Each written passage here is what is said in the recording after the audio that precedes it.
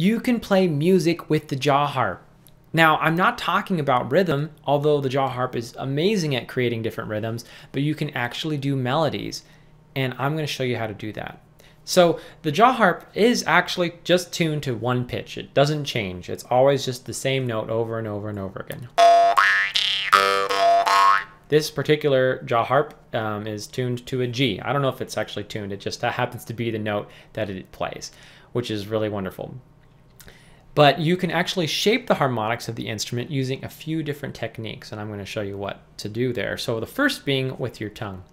Now, um, just as we use our tongue to speak and change the, you know, the, the pitch of our voice, the tongue can do the same for the jaw harp. And so remember that the jaw harp, you are placing it against your skull and you're using your mouth and your throat and your chest cavity as a resonant chamber. And as you change the shape of that chamber, it affects the different harmonics and pitches that you can come up with.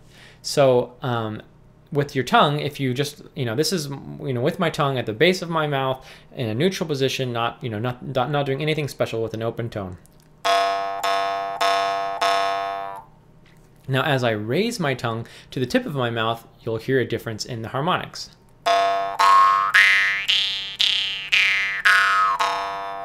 So the pitch, the fundamental pitch of the note doesn't change, but the harmonics do, and within those harmonics, you can create different melodies. All right, so that's method number one to create different pitches with the jaw harp. The second is with your the back of your throat.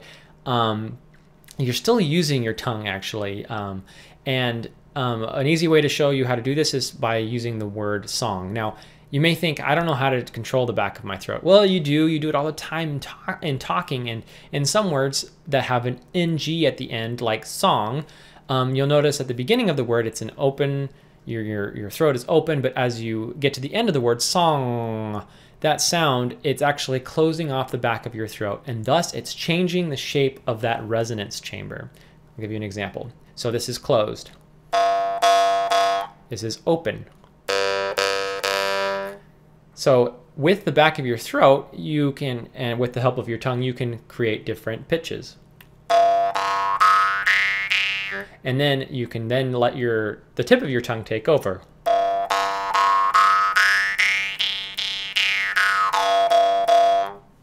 So that's another method of changing the shape of the sound. Now, the third method, which is probably the most tricky that I'll spend some time on, is by using your glottis. Now, um, I can't remember the name of this, um, the Larynx something or other awesome, cool gadget. This, uh, I call the, you know, a lot of people call the Adam's apple. You can actually change, you can actually control this, and it's a little tricky, and I'm, I admit I'm probably not um, gonna you know be able to explain it thoroughly because you, this is something you're to have to experiment and find out because it's a very subtle thing that you you know usually you just use without even thinking about it and you do actually control it. It's just very unconscious. So with your your glottis if one trick that i found that kind of gives you a feel for taking control of it is by imagining that you're pushing a gigantic boulder like way too big for you to push to actually move it without like you know 100 other people. If you try and push against it you'll you'll you'll make probably make this sound. And if someone's overhearing you watch this youtube video they'll probably raise an eyebrow but pay them no heed we're learning here so if you push against that boulder you'll notice that my adam's apple kind of moves with that motion and well, and you can feel it, can feel some constricting there, and you'll notice that that um, that throat cavity you know, it, it, it cuts off. So I'll, I'll give you an example of the sound difference when I close it off by pushing that boulder. That's open.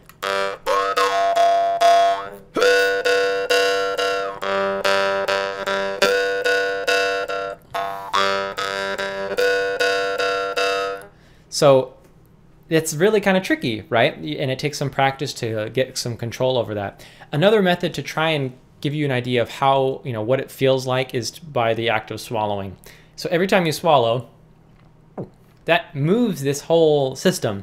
And so you can get a, you know, a feel for it if you try and stop that swallowing motion and it's kind of uncomfortable to practice, I admit, but once you get the hang of it, it becomes pretty natural as you're playing.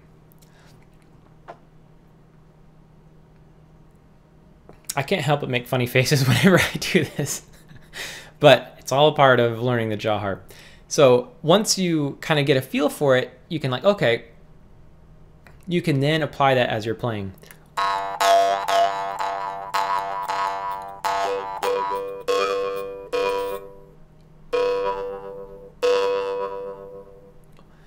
Really tricky stuff. But if you learn how to shape it, then that is another way that you can shape the sound and change the harmonics of the instrument.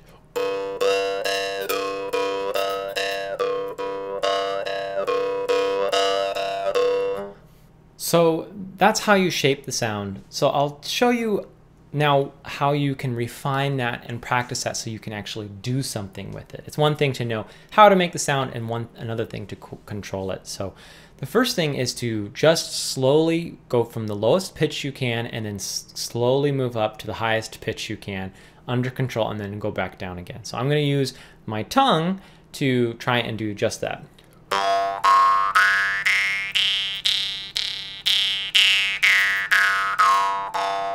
And then you can even try continuously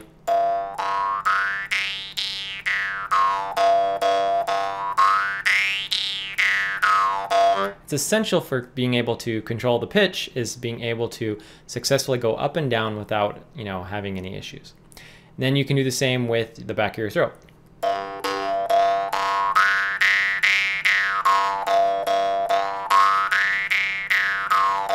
And then even true if you try and use your glottis.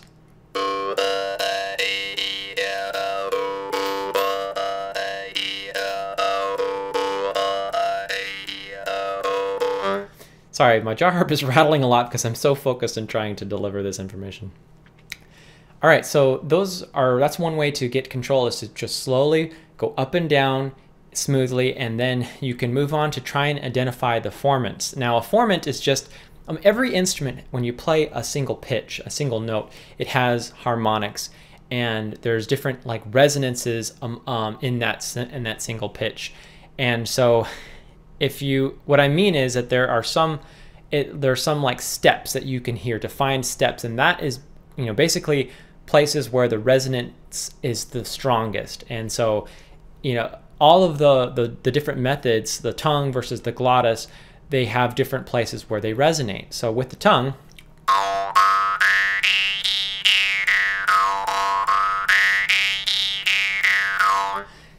Notice I just was playing like four notes as I go up and down because it seems like those were those are the strongest resonance points for the for the instrument. And similarly with the glottis.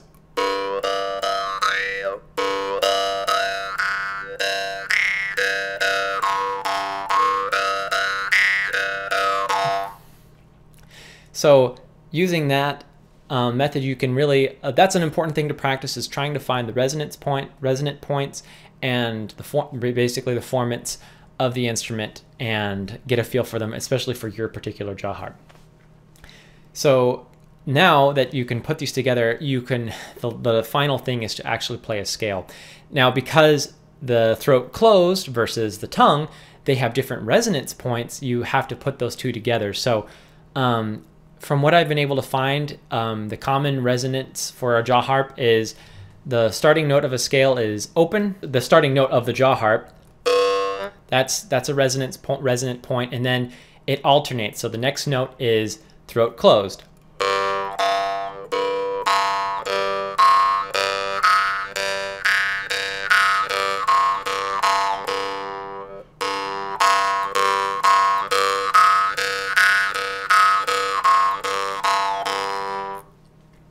This is I'm still learning this process, but you can use that to develop actually a scale by alternating between open, so you know, op, open, closed, open, closed, open, closed, all the way up a scale. Da da da da da da da da da da da da da da da.